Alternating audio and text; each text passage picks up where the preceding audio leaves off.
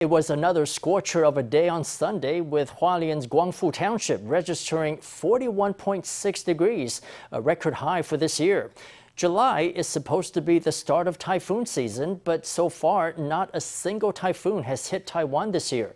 The government's water management authorities are starting to worry about a drought next year if Taiwan continues to be free of typhoons and the northeast monsoon doesn't arrive in September.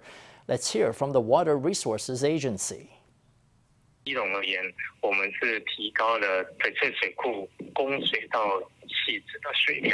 in Keelung's case, we have increased the water supply from the Fei Feitsui Reservoir to Xizhi.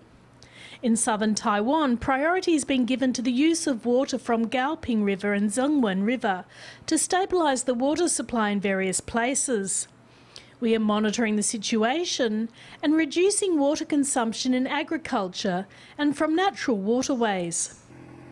Fortunately, thanks to an abundance of rain during this year's plum rain season, there shouldn't be a water shortage before November. While there is a drought response action in place, the agency says a decision won't be made until September, depending on the status of Taiwan's water supply at that time.